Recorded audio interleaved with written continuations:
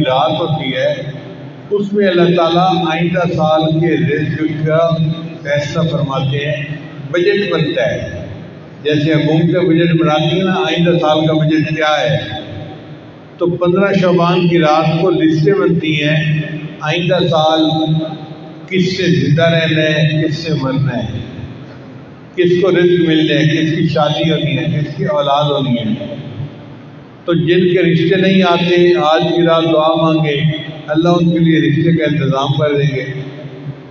जिनको जॉब नहीं मिल रही, आज की रात दुआ मांगे, अल्लाह जॉब अता फरमा देंगे।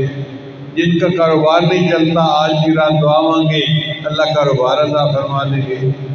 तो आज की रात आइंदा साल के बजट के बनने की रात है। अब ये बजट बनेगा, फिर अल्लाह ताला ने वक्फा दे दिया। इसमें ऊंच नीच हो सकती है।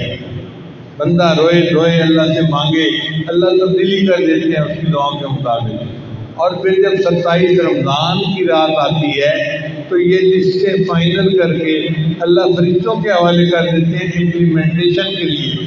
फिर तब्दीली नहीं होती, फिर फैसले हो चुके होते हैं। लिहाजा ये वक्त बड़ा कीमती है। पंद्रह शबान से लेके पूरा रमज़ान। सत्ताईस रमज़ान तक हमारे पास गुंजाइश है जब अफसर फैसला कर रहा हो ना, उस वक्त बिज़नेस हिफाजत कर ले तो वो फैसले को तब्दील कर देता है। उसके लिए आसानी होती है।